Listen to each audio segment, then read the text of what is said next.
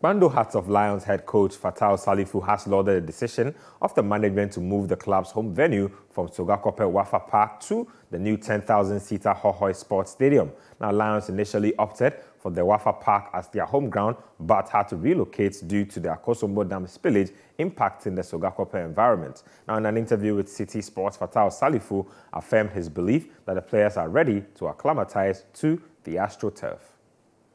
Uh, with me, I think it's fine because uh, even the decision on uh, uh, the Sogakope's back was uh, due to the Hohoe football But then, uh, I think that uh, there were some things that that were supposed to put in place at uh, uh, That is how come the team decided to move to what's the name, Sogakope. The fact is that uh, Hohoe is, uh, is deeply in water region and also close to Kpando. I believe that uh, if initially even the decision was for us to play in Hohoe, it would have been the best than even in Sogakope. So I think now that uh, due to a reason that uh, no one can uh, manage, I think that we're going back to Hohoe. I think uh, is the best uh, for the people of Volta region and the club as a whole.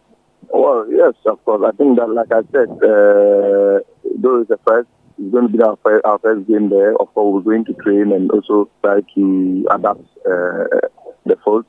I think that uh, we also train on Astro pitch at uh. So, of course, training on Astro field and uh, playing on the grass field, sometimes we have challenges. But now that our home ground is also going to be like an Astro pitch, of course, it's going to be something that uh, would, would, would, would, would, would benefit the club. So I think it's a good decision.